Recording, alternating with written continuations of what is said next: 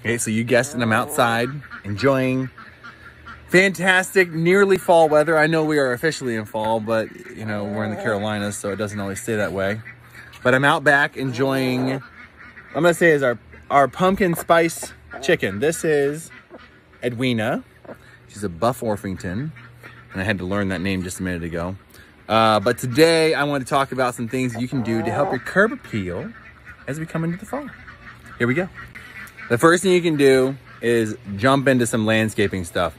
Usually you start to find a lot more trees for sale at Lowe's, uh, local greenhouses. I know my wife and I, we love to go to King's, or I, I'm gonna say my wife.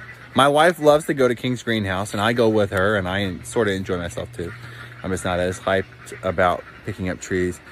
I think it's largely because I'm typically the one who digs the hole and Carolina soil sucks because it's full of rocks and it's clay. But nonetheless, King's Greenhouse is a great one, and there's local places as well that are, nearby uh, to pick up good plants that help with your curb appeal.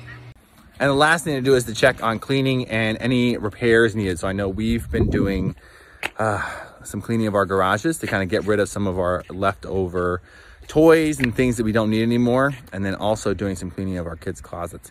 Mostly what we've been doing is rotating clothes down to the next child. Aside from that, obviously there's a bunch of other things that you can do to help with your curb appeal. So be sure to check out our blog. It's on our website and it's also gonna be in the comments or in our Instagram. And if you have any questions about it, let me know. And hope you have a fantastic day. See ya.